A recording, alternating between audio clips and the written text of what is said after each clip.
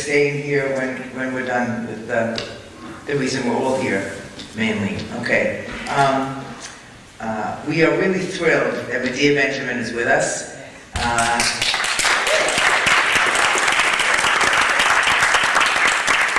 if you're at all involved or, or remotely interested in peace and justice work in this country, then one assumes you've heard about Code Pink. And Medea is one of the founders of Code Pink.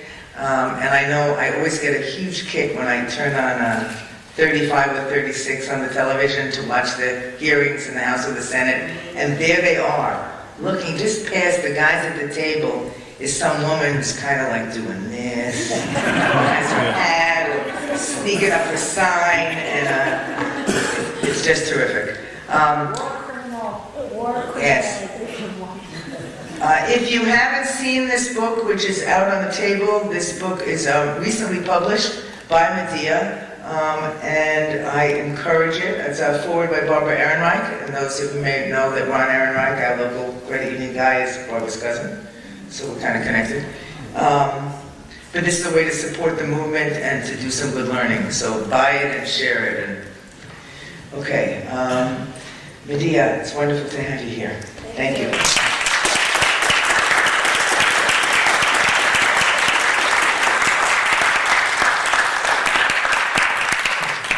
Well, let me say, oh, is this too loud? No? Okay. What a great inspiration it is to be among you and to walk into that room when you're planning your actions for tomorrow. It's just so uplifting for me to see. And let me just see a show of hands. How many of you are participating in one way or the other in the actions tomorrow? And how many of you are risking arrest? Can we give an applause for those?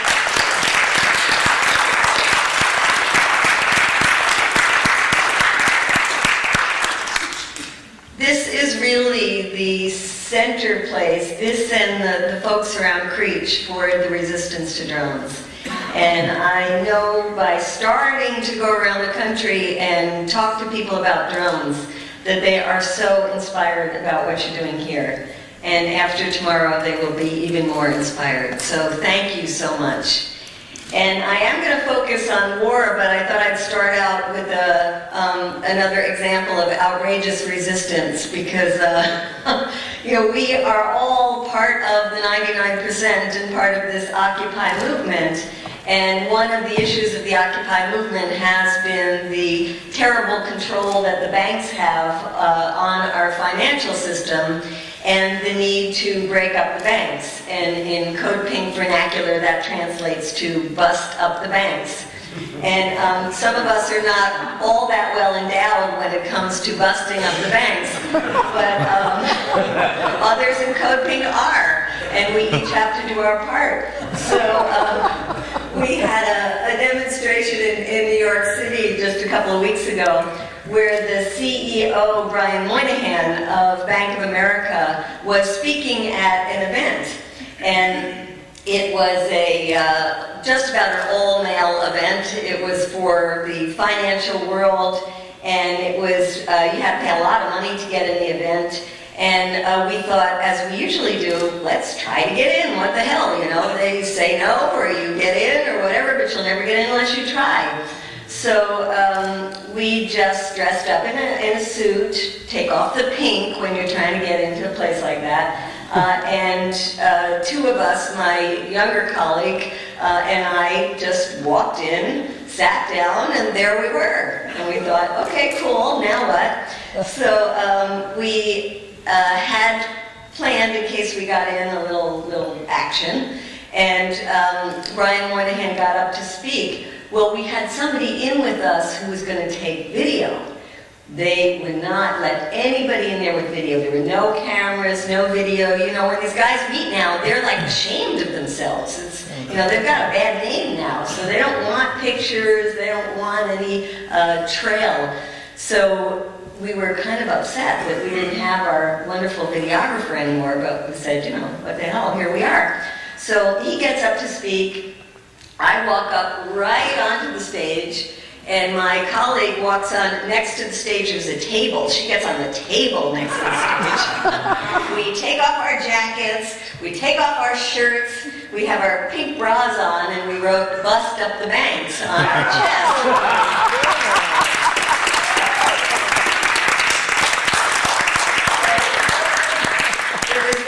Funny, and we did our whole, we did a mic check, we did bust up the banks, you know, we got we got hauled out of there. But you should have seen the face of this Brian Moynihan when he looks around and he sees these women in their bras. but because there were no pictures, we were really disappointed. You know, we opened, we, we looked at the uh, Wall Street Journal the next day. They had a picture of this very serious-looking Moynihan and a pink bra floating in the background. story about how these women, women got in and uh, tried to bust up the banks. So um, we are really excited to be part of this Occupy movement, to see that now there is a new generation of people who are involved and active and creative, and we learn so much from that generation. I think, you know, we've gotten stale a lot of times in the way we've been organizing over the years, and when we've looked around and there are no young people with us, you know, it was time to kind of like wonder what are we doing wrong. And I think now uh, so many of us feel a new level of inspiration uh, because there are so many exciting creative things that are happening. And in fact, I just opened up my email this morning and saw this list of uh, gatherings that are going to happen in the shareholder meetings starting in May because this is the season for the shareholder meetings. And to see the uh, Bank of America. I'm going. Uh, Charlotte, North Carolina. It's going to be really fun. We got a bus from Washington, D.C., where I'm living, that's going to take a 100 people down. Um, there's a, a, lot of mobilizing for the Wells Fargo shareholder meeting, for uh, a lot of the different corporations uh, that are having their shareholder meetings. It's going to be a very lively spring and a really lively summer. And Joe talked to us about, uh, about NATO and how exciting that's going to be. Um, and then we have the conventions. And I think the conventions are going to be a fabulous time to be getting out there saying, we are standing outside the political party system. Our message goes beyond political parties, and it's the same message whether we're talking to Democrats or Republicans. And I hope that many of us will be out there uh, with, with our message uh, that includes the, uh, the need to end these wars. And speaking of war, I know that some of you who were here earlier had a chance to talk to the Afghan youth and how inspiring it is to uh, hear from them. But my colleague, uh, Jodie Evans of, of Code Pink, has been in uh, Turkey where there's an, an international meeting of women. And she said it has been so heartbreaking to talk to the Afghans and the Iraqis and that they feel just so devastated. Starting with the Iraqis. I mean, I went to Iraq before Saddam Hussein was kicked out and then after, year after year. And each time I went, I saw that the women that we had been working with uh, women who were highly educated. I mean, there was such a stereotypical view of, of Iraq until you landed on the ground and you realized that uh, women were so involved in their societies and they were architects and engineers and doctors and uh, to see year by year after the U.S. invasion, uh, so many of them killed or refugees or internally displaced, anybody who had money leaving if they could. Uh, and it is heartbreaking. And they also were telling uh, us now about the levels of cancer that have skyrocketed with all of the depleted uranium and all of the terrible weapons that the U.S. has been using there. And what really breaks my heart is no sense of accountability in this country at all. I mean, that is one of the things that Code and others still keep trying to do every time there's a George Bush or a, a Donald Rumsfeld or Condoleezza Rice or any of them come to somewhere where we know they're coming. We try to get in, we try to get up on the stage, and we try to bring our little pink fluffy handcuffs and say, in the name of the people, we want to arrest you for being war criminals. Um, but what does it say about our country that we have not done that?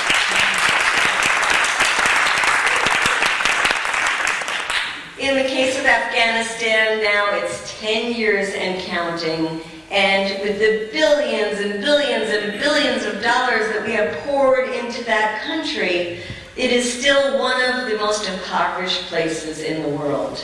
And then we have the drain to, to, our financial system with the wars in Iraq and Afghanistan being very much a part of why our economy is the way it is today. Trillions of dollars. I heard a talk recently by um, one of the uh, people, Joseph Stiglitz and Linda Bilmes, who have written the book, The Three Trillion Dollar Wars. You know, they said the peak cost for the uh, for healthcare for Vietnam um, was 2010. Vietnam War, the peak cost 2010. So the costs we are going to see for generations to come as the veterans get older and older and sicker and sicker, and our society pays for that. Um, it is the younger generation, those of you who are uh, under 30 in this room, you're going to be paying for these wars for decades and decades to come.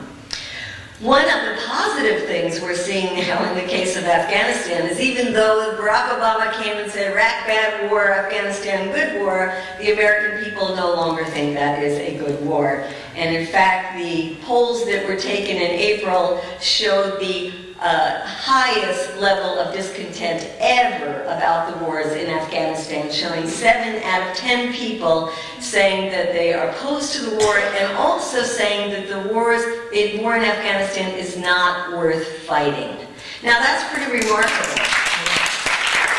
Because once you're in the middle of the war, you know, it's always, you gotta uh, keep a positive face on it and support the soldiers to say it's not worth fighting. And what's really, really remarkable is that for the first time ever, it included a majority of Republicans. So that is very, very important. You'd think somebody like Mitt Romney might want to take notice of that and stop saying to Barack Obama, you shouldn't have a timeline to bring the troops home by 2014. Um, uh, but it doesn't seem like that has sunk in yet, that that's not a real popular position with the American public. So, but we have a real paradox right now because we have this overwhelming majority of people saying, let's get the hell out of Afghanistan. And on the other hand, you have polls that came out recently looking at U.S. support for drones. And guess what? It's higher the support for drones than the opposition to the war in Afghanistan. It's eight out of ten Americans saying it's just fine to use drones to kill terrorist suspects. Suspects. You don't know they're real terrorists, but you suspect that they're terrorists, and it is fine to kill them. Eight out of ten Americans saying that. And of that eight out of ten Americans, 79% of them said it was okay to kill Americans in drone attacks. And what is even sadder about all of that is that it includes not only a majority of Democrats, but a majority of people who define themselves as liberal Democrats. So that means that the work you're doing here is so absolutely critical because we have to start on that level of explaining to people why killing with drones is really not a good thing. And of course, for us, I think in this room, the basic issue is the issue of morality. A basic issue is the issue of the ethics of using remote controlled killing, of having pilots that are based thousands and thousands of miles away, sitting comfortably in their uh, uh, Air Force base, in whether it's a Hancock base or whether it's in Creech. Um, and I say comfortably because I don't know if you've seen recently, they, they uh, did a study and they showed that these pilots were not very comfortable and that they had to get a more ergonomically appropriate chairs for them um, while they are piloting these drones thousands and thousands of miles away um, that are killing people who, uh, most of the time, they have no idea who they are. And remember that um, the huge proliferation of drones came post 9-11. They were being developed beforehand, used in one variety of another, even in the days of Vietnam. But it was really 9-11 that led to this massive explosion in, of, of drones, going from about 50 drones being used in the year 2000 to now over 7,000 drones just in the hands of the military alone, not counting what the CIA has. Uh, and this explosion of drones is really part of um, fits into that narrative that I talked about when looking at the polls, because the American people don't like American soldiers being killed. And the US government realized that if we are going to continue on our wars and continue with this empire that wants to decide the fate of the world and wants to make the world safe for our corporations, then we're going to have to fight wars in a different way.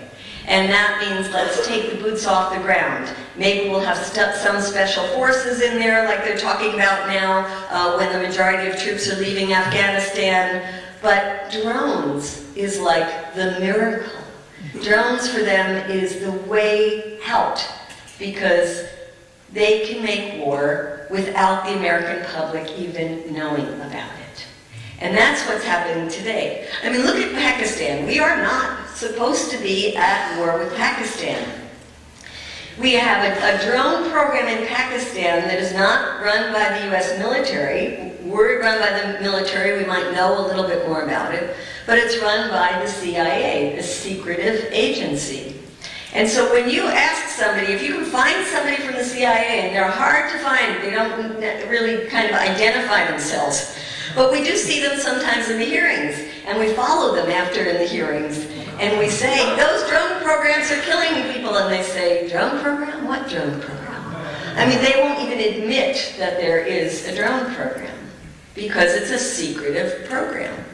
And so how are we supposed to know how many people are being killed, how they determine their hit list, what happens uh, to the people who are killed by mistake, uh, because they don't admit any of that. And yet, there are journalists and others who are trying to piece together this information. And remember, it's very hard because uh, foreign journalists are not allowed to even go to northern uh, Pakistan where these drone strikes are being carried out. But trying to piece together the information, the best information that we have is that over uh, that there have been over 300 drone strikes in Pakistan alone from 2004 till today that over 3,000 people have been killed. Some of the statistics say about 800 of those are innocent civilians, of those about 175 of them are children. But there are other people who say that is wrong. The, if you look at how many people are killed, the majority of them are innocent people. Because how do you know who is a militant? Well, we have a friend who is a lawyer who has taken on the cases of drone victims. His name is Shahzad Akbar. We're trying to bring him to a drone summit that we're putting on next weekend. Well, he used to be very friendly with the United States. In fact, he used to be a consultant for the Agency for International Development, had been to the U.S. many times. They facilitated his visa for him. He was also uh, helping the FBI in the case of a, uh, a, a, a terrorist um, issue that involved uh, Pakistani diplomats and um, he never had a problem coming to the United States. Well, a couple of years ago, he started looking into this issue of the drones and started realizing that there were all these innocent people being killed, and he, as a lawyer, ought to do something about it, and he became a lawyer for uh, many of the drone victims. Well, lo and behold, last year he was invited by Columbia Law School to a symposium uh, to speak about this, and all of a sudden, uh, he couldn't get a visa.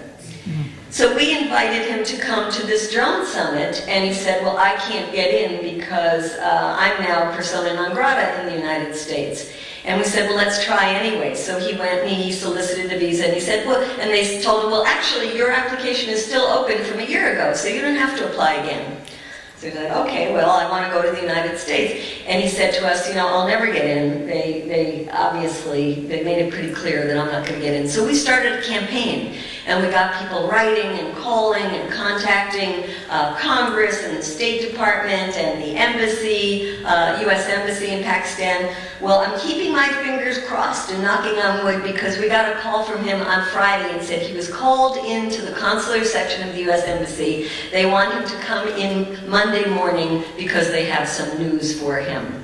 So we think that they're going to let him into the U.S., which is a big victory. So his message is not one that the U.S. government wants to hear because his message is that the CIA, the U.S. government, they say everybody they killed is a militant. And you know how they know that it was a militant? Because they were killed, right? And uh, he says that the American uh, government says that, that if you're walking around in North Waziristan with a gun, then you're probably a militant. And he says, well, everybody in that area walks around with a gun. Um, and so he believes that most of the people who are being killed are, uh, are, are innocent. They might be sympathetic to the Taliban, but that does not give the U.S. the right to go in and kill them. And one of the reasons that people become sympathetic to the Taliban is precisely because of these drone strikes. So the, um, the drone strikes have been counterproductive. Let's face it, if a new piece of technology was going to allow the United States to win wars, we wouldn't still be fighting in Afghanistan right now. Uh, if a new piece of technology is going to allow us to wipe out Al-Qaeda and, and, the Taliban, we wouldn't still be doing drone strikes in, in, in Pakistan. Um, a new piece of technology is not going to change, uh, uh, change the situation. Um, it only perpetuates it. In fact, there was a RAND study that looked at 44 years uh, of um, history at groups that were considered terrorist organizations, terrorist groups, and, and looked at how they dissolved. And they said that 40% of them through some kind of negotiations, another 40% through policing, effective policing, and only uh, 7% through military force. Now, that's not a leftist organization that did that study. Um, so the Pakistani government, you know, has kind of in the beginning said, uh, when we saw some of this through WikiLeaks, uh, said that, um, all right, you do the drone strikes and we'll pretend we're against them. We'll publicly say we don't like them. And they started out like that. And then they realized that actually they were against the drone strikes because the drone strikes were making the people very angry and they were blaming their own government. Why are you letting the United States come here and violate our sovereignty and kill people with impunity? They also recognized that it was only feeding into the Taliban and Al-Qaeda and that for everybody who was killed, then more people would get involved and, and, and, and take up arms. So um, they started protesting for real. And they had uh, votes in the legislature. In fact, the last one was a recent vote unanimously calling on the U.S. to stop the drone strikes. Now think about it. Here we go around the world. We send our bombs. We send our soldiers around the world because we're trying to bring democracy. And yet, when a democratically elected government in Pakistan unanimously says, we don't want your drone strikes, the U.S. says, hmm, sorry. And it's not just now the prime minister, it's not just the legislature. All the political parties got together and they all said, this is a violation of sovereignty, we don't want the drone strikes. And the foreign minister even went to England recently and said, please help us, can't you, you use your pressure on the United States to tell them to stop the drone strikes. Their head of intelligence has said, stop the drone strikes, it's counterproductive. And the people have come out in message, is in huge numbers, to say stop the drone strikes. They've done their own sit-ins, blocking U.S. bases, blocking NATO supplies going to Afghanistan. And most recently, there was a commission that came out with a report. Um, and the report said that um, drone attacks are counterproductive, cause loss of valuable lives and property, radicalize the local population, create support for terrorists, and fuel anti-American sentiments. This was an independent commission for the parliament. So Drone strikes are not working. Do you think the Obama administration is getting that lesson? No. No, in fact, now there is a call, and this was in, in uh, uh, the paper this week in the Washington Post. Don't know if any of you caught it on Thursday. Broader drone tactics sought. CIA aims to expand strikes in Yemen. Well, it turns out, you know, there's two kinds of strikes. One is called personality strikes. We have your name on a list. You, Vicky, you're on the list. We're going after you. Uh, Beth, you're on the list. We're going after you. Okay, so they come up with their list. Who knows how they come up with them? They come up with their list. That's called a personality strike. Well, there's another kind of strike that's called a signature strike. And that kind of strike means we don't know your name, but we are looking for suspicious behavior. And when we see suspicious behavior, we want to have the right to attack you. Well, in Pakistan, the CIA has the right to do that. But so far in Yemen, they don't have that right. So they are soliciting now from the US government the right to do that. Now, um, there are concerns. Already, the number of personality strikes has increased in Yemen. They say that um, the change would accelerate a campaign of U.S. airstrikes in Yemen that is already on a record pace with at least eight attacks in the past four months. But there is a concern. The administration has placed tight limits, they call us tight limits, on the drone operations in Yemen so far to avoid being drawn into an often murky regional conflict and risk turning militants with local agendas into Al Qaeda recruits. So here, you know, they, they know that this is tremendous risk. They to just look back on uh, one of the drone strikes that took place in May of 2012 that I talk about in my book where they mistakenly killed a mediator. This was a mediator between the Yemeni government and Al Qaeda in the Arabian Peninsula. And this guy, who was a deputy governor, he was killed while conferring with an Al Qaeda leader in an attempt to negotiate a settlement with the government. Well, the government felt terrible about that, and they apologized to his family for his death. But the killing prompted members of his tribe to strike at government facilities, including a military camp, an oil pipeline, and power lines. So guess what? People get very angry when their loved ones are killed. Now, there is a big debate going on in the government right now whether to allow for an expansion of the drone strikes in Yemen. So this is a very good time for us to weigh in on this issue. And I know that you here, um, who have been doing this work to stop the drone strikes, want to see an end to all drone strikes. But there is one particular area that I think we can have more influence on, and that's the drone strikes in the hands of the CIA. So I'm going to pass around this petition because we're going to find people in the CIA and hand deliver these.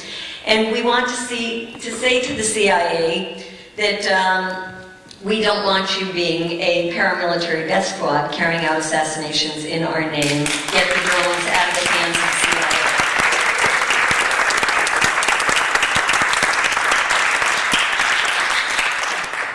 The drones in Yemen are being based not in Yemen but somewhere else. So who knows where that somewhere else is?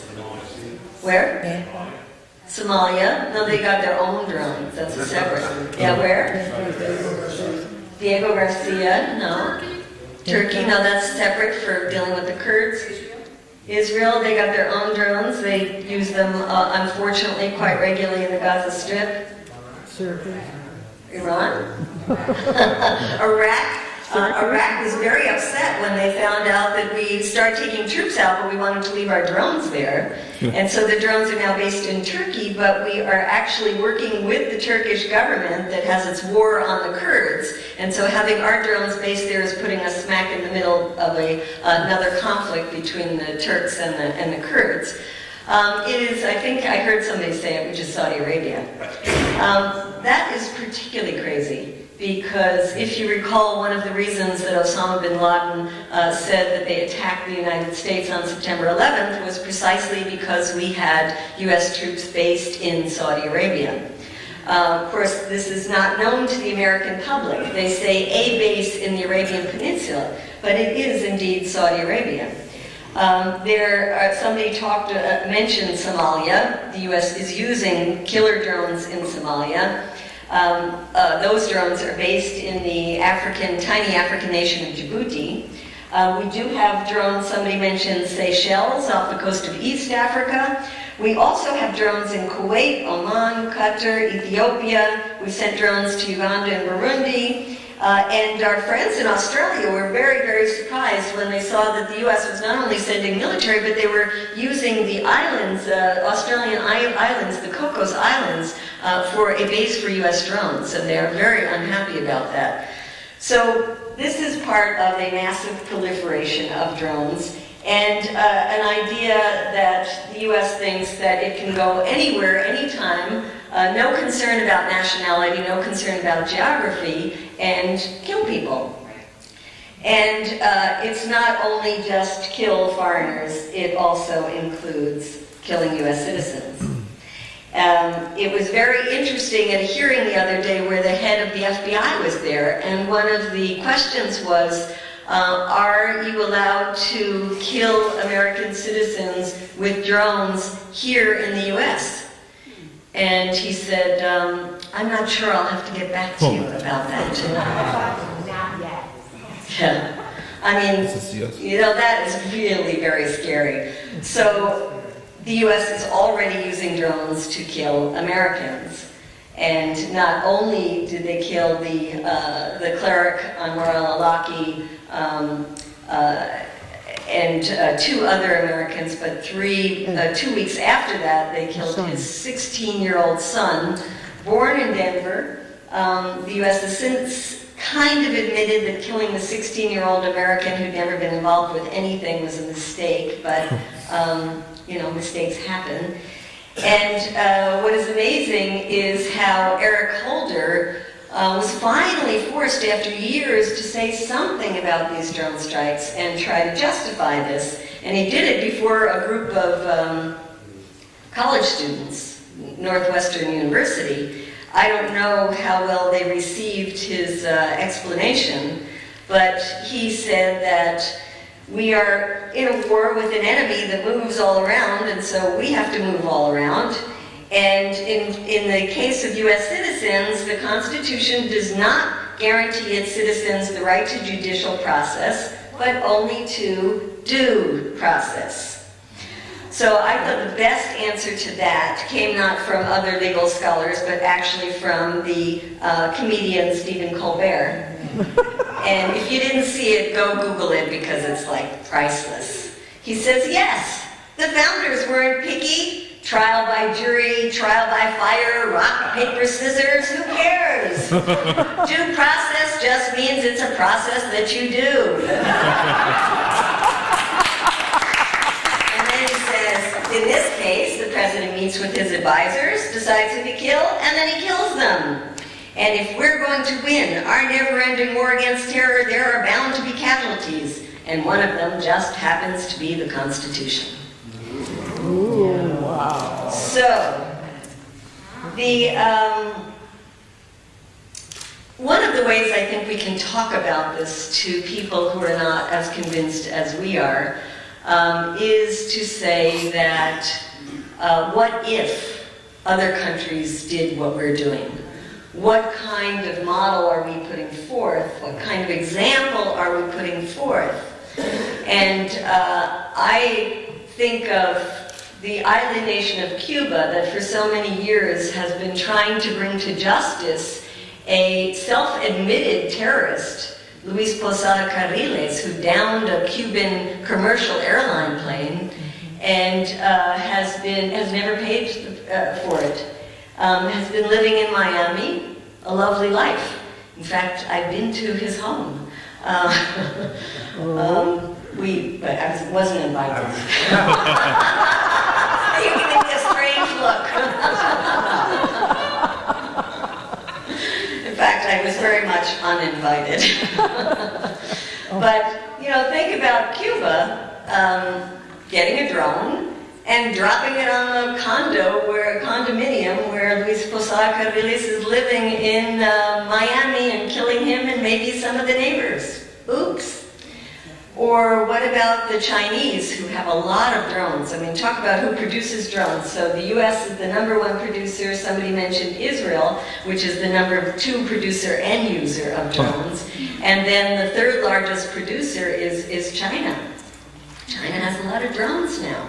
Well, they have people that they perceive as their enemies, including uh, a lot of the Uyghurs. And some of them are living here in the United States. So why shouldn't they come here and drop a drone on the, the flat in Brooklyn where some of these Uyghurs are living? And then spying, you know, the U.S., uh, uh, the, the Iranians scrambled, they say they scrambled one of our most sophisticated spy drones and put it on display for the world to see. And um, they also are producing their own drones. So Iran probably wants to know what's going on here in the United States. So what if they sent their drones over to spy on us? I mean, that would be a surefire way for the U.S. to say, okay, we're at war now with Iran. But yet the United States is doing this everywhere.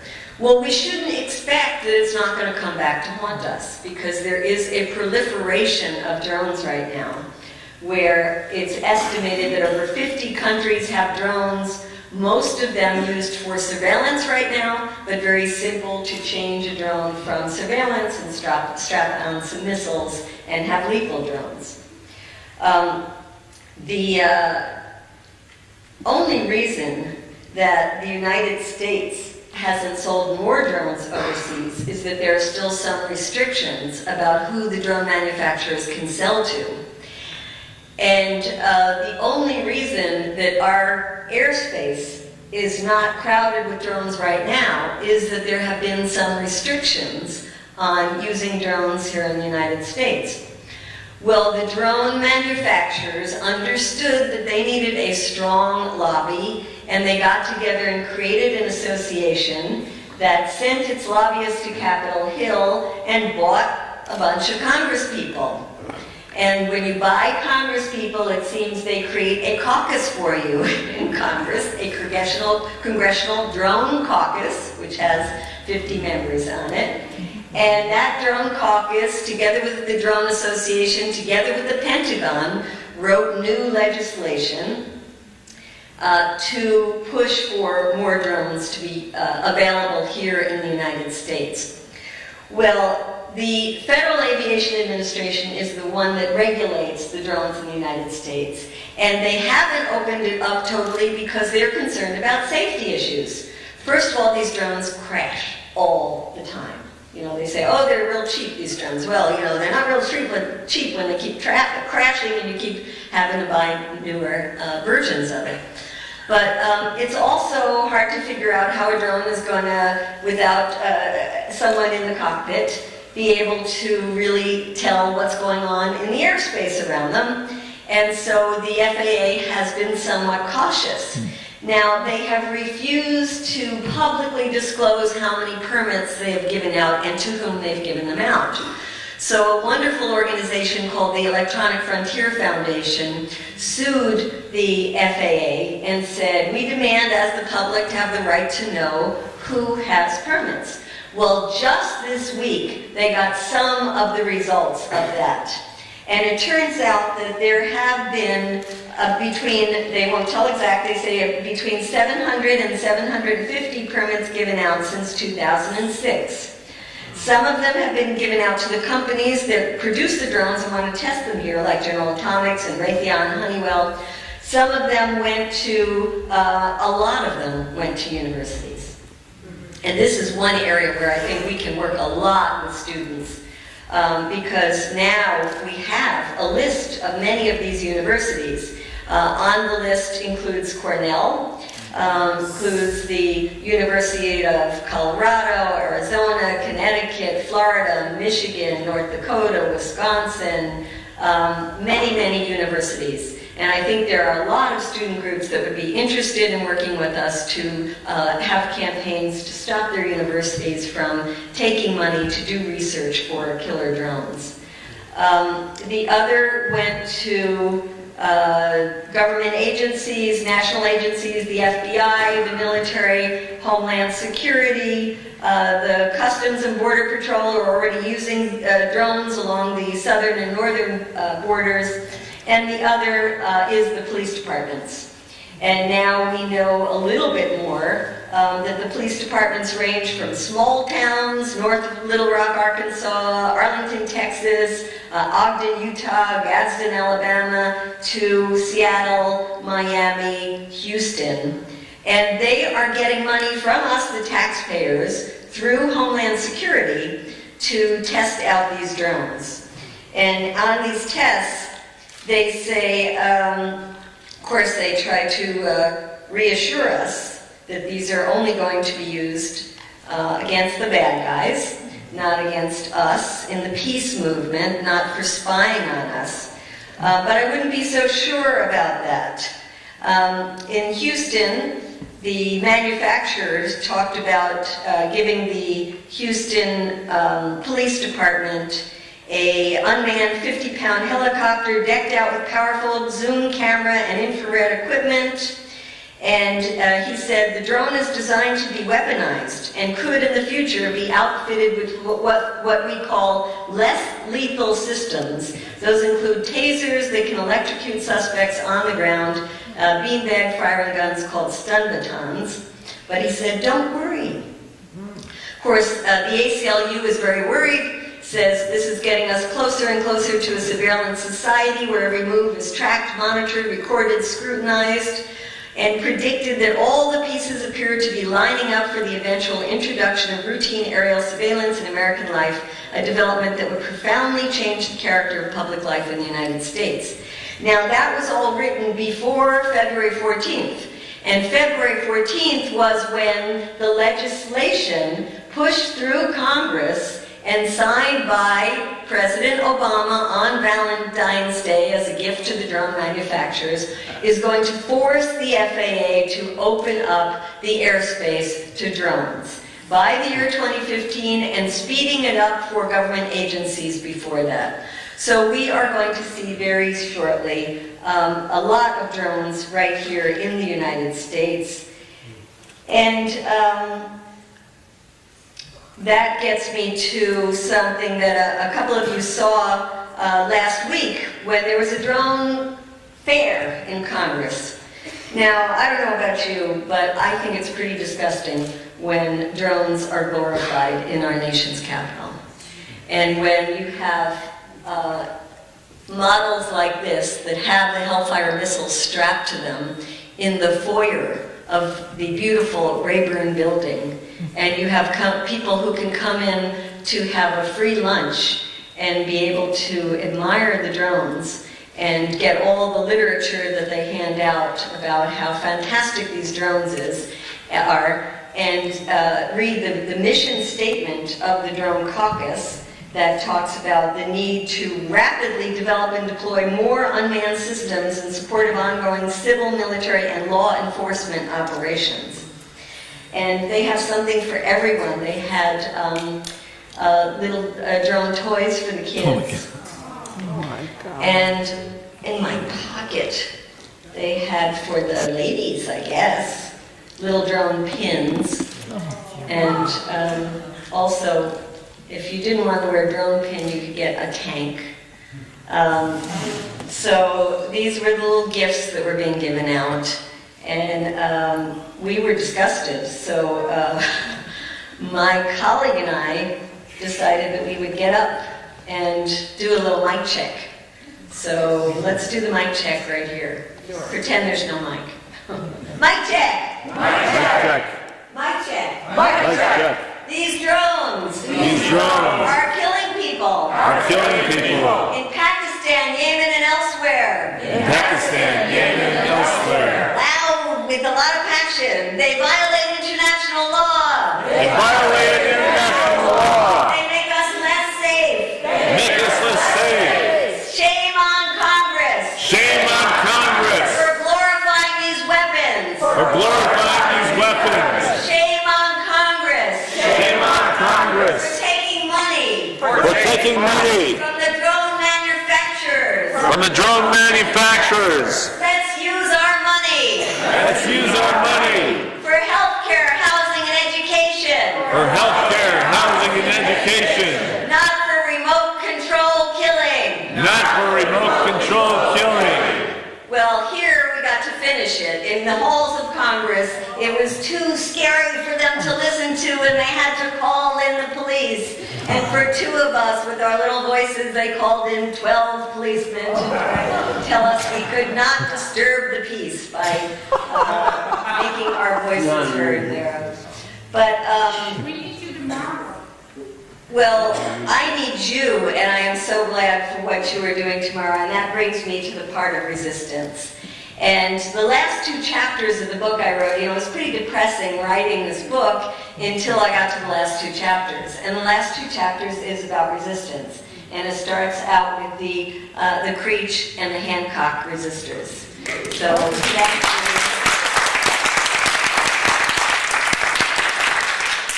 and talks about people who are recognizing that uh, they are living in war zones because they are living in places that are uh, operating these drones and that they don't like um, their communities being part of that.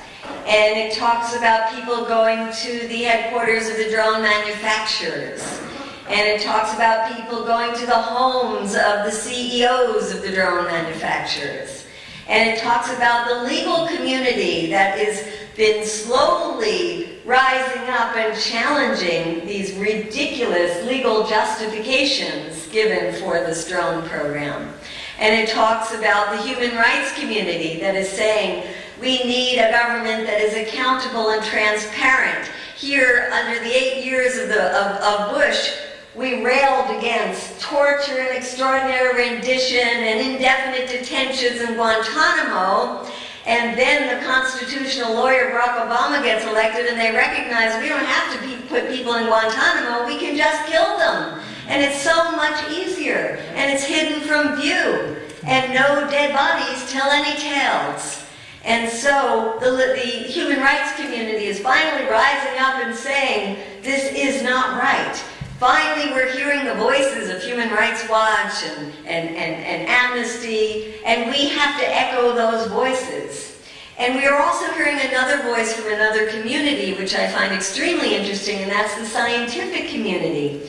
Because some of them are watching in horror as this development is taking place. And they recognize that this is just the beginning. They call it the early stages of these automated weapons. Uh, they liken it to the time of the Wright brothers for the development of the airplane. And they say, you ain't seen nothing yet. And if you only knew what is in production and how they're trying to have drones that are totally automated, that don't need any kind of pilot, that will be pre-programmed and then just go out there and kill. And so they are putting together a group internationally that is trying to get an international convention to stop the use of lethal autonomy, autonomous drones before they're even being used. So we have a number of different pieces of our community. Uh, then there's the community that's concerned about privacy rights in the United States. And I hate to recognize it, but it's true and unfortunate that we can get a lot more support around these drones when we talk about the issue of privacy here in the United States. You know, we, we um, have a, a, summit that's coming up next week, and we, we uh, are working with a PR firm. And she called me up and she said, You know, Medea, I'm trying to get the media interested in talking to the drone victims and the lawyers and the people of Pakistan and Yemen and everything, and they're just not really interested. But when I tell them about drones coming to the United States, then all of a sudden they perk up. And that's true, and we have to recognize it. And we have to recognize also that it allows us to speak to a much broader swath of the American public, including people that consider themselves libertarians, uh, that consider themselves uh, conservatives, but don't like the idea of having the government spying on us even, even more so than we are uh, today. So I think there is a real possibility of having a broad coalition come together um, to fight against what can be seen as one, the killer drones and the spy drones, whether it's at home or abroad, is part of an undemocratic system, a secretive system, and we are fighting for a democratic system, an open and transparent system.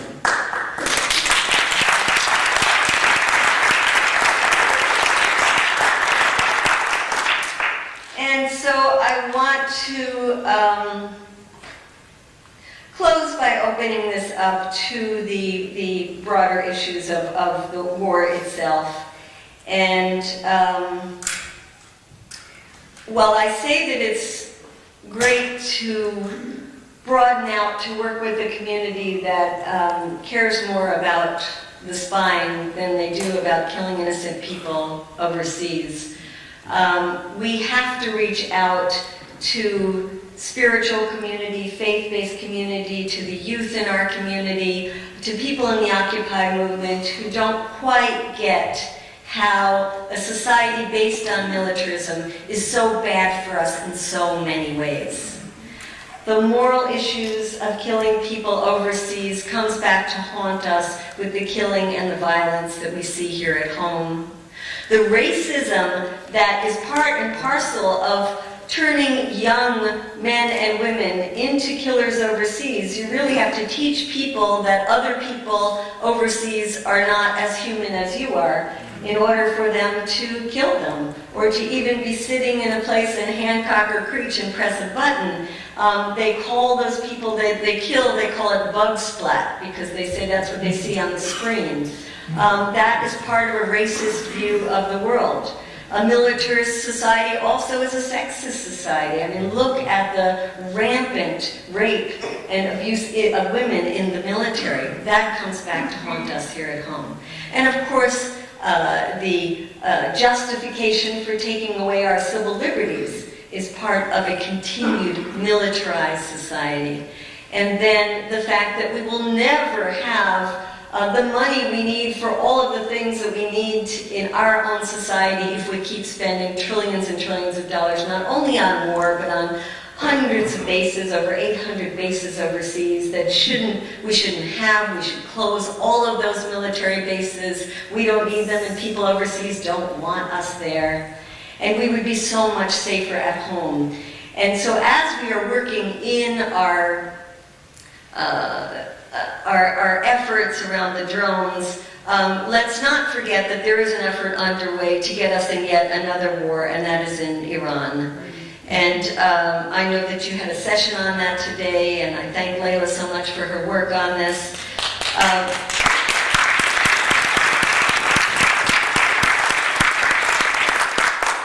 and Layla, every time she talks, I think, um, talks about love.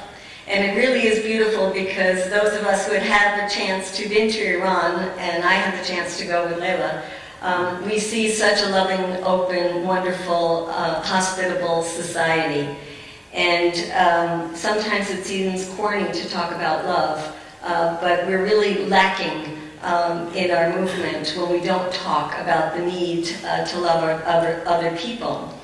And while the, there are elements of our society that are pushing for war, um, there are elements of our society that were very unhappy that the peace talks even took place recently, tried to stop them from taking place. And after they took place and there were some positive developments, and there's another date set in May for a further round of talks, uh, there are members of our government, like Senator Joseph Lieberman, who are very upset that the talks seem to go well. And uh, a group that is very influential in the U.S. government called AIPAC, uh, that has been pushing a policy uh, in Alec, the United States that... Alec? Hmm? Alec? No, AIPAC, which is the American Israel Public Action Committee that has been pushing a terrible policy in the U.S. around Israel-Palestine, has also been gunning for war in Iran. And somebody was sending around a video that they did today uh, that just uh, was horrible. It talked about the peace talks in a very skeptical way. Um, they didn't want the peace talks to happen. They really just want to see a military intervention in Iran. But they said the only reason the peace talks uh, might have happened now is because of the crushing sanctions that we are imposing on the Iranian people. And uh, there's a, a young woman who was doing the video, and she spoke with great enthusiasm about how we are destroying the Iranian economy, how their uh, inflation has skyrocketed, how unemployment is just skyrocketing. And she was just so delighted about that. And I think about the women, the children, the men, the families um, that are being crushed with these crippling sanctions. And I think, how can we as a public allow this to happen again? We saw what happened in Iraq. We saw a Secretary of State, Madeleine Albright, who said that it was worth the deaths of 500,000 Iraqi children to impose those sanctions. And here, with another woman as Secretary uh, of State, Hillary Clinton, today, we are allowing that same kind of policy to go forth and think that it is so wonderful that we are destroying the lives of ordinary Iranians because somehow that's going to make them rise up against their government. And so while we go out doing this work, whether it's about drones, stopping the wars that we're already in, we must do everything in our power to stop us from getting in yet another war and destroying the beautiful society, the beautiful people of Iran.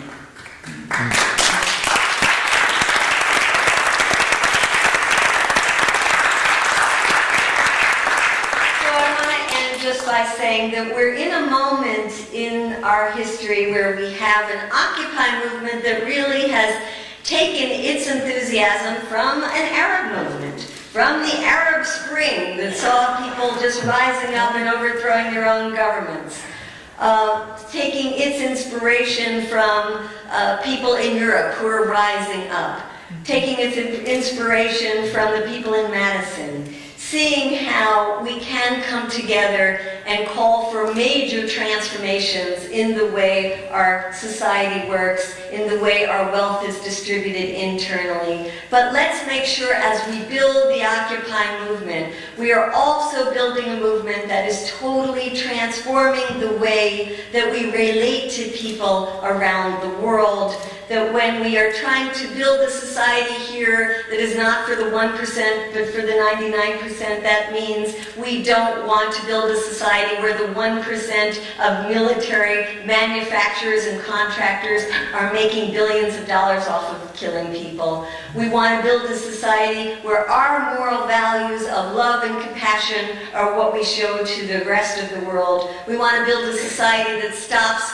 the useless, senseless, crazy violence internally in this country, but stops the violence that we are perpetrating overseas. So I want to end just by thanking for you for your work, wishing you great, uh, uh, a wonderful day tomorrow. Know that what you are doing is inspiring people around this country, that the words and the videos that we will see tomorrow will also inspire people around the world and will show them that indeed we are part of a global movement for peace, justice, and democracy. Thank you.